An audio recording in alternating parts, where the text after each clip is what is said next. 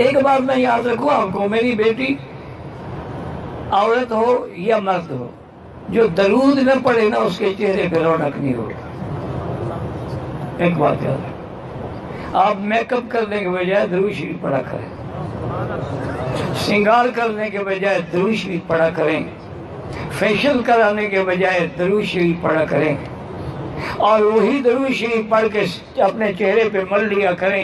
एक महीना अमल करें, फिर पूछना अपनी बहनों से, अपनी बेटियों से, अपनी सहेलियों से कि अब तुम्हें मेरा चेहरा कैसे नज़र आता है? और एक वजीफा भी मैं बता दूँ, अल्लाह का नाम या जमील या जमीलो या जमील जमिलनी व अदिम जमाली और एक आसान सा अमल भी बतला दूँ मेरी बेटी। जब सीढ़ियाँ चलो ऊपर तो कहो, अल्लाह अकबर। उतरो तो कहो सुबहान अल्लाह बस इसी सुन्नत में अमल कर लो इन जन्नत मिल जाएगी।